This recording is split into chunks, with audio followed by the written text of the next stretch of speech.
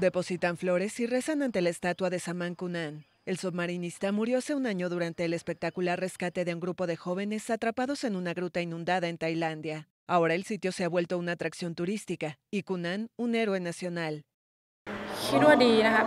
Pienso que es bueno. Tienes un lugar así para conmemorar que durante un momento difícil muchos países se unieron. En tiempos de mala suerte hubo también buena suerte. En junio de 2018, 12 adolescentes del equipo de fútbol Jabalíes Salvajes y su entrenador quedaron atrapados en lo profundo de la cueva inundada en plena temporada del monzón. El episodio motivó una operación internacional de rescate que movilizó día y noche a centenares de personas y mantuvo en expectativa a millones en todo el mundo.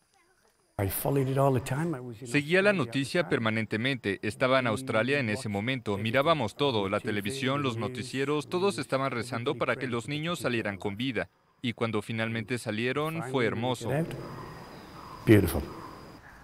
El sitio solía recibir unos 40.000 turistas por año, pero tras el incidente, entre octubre y abril de este año, más de un millón de personas han visitado el Parque Tam Luang.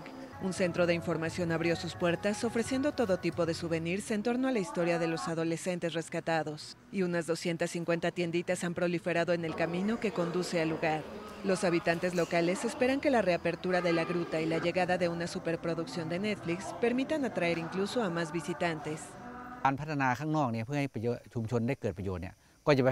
Para beneficiar a la comunidad, vamos a desarrollar el área a tres kilómetros de aquí, construir un estacionamiento, un centro comercial, servicio de traslados y hotel. El área del parque será solamente un centro de aprendizaje.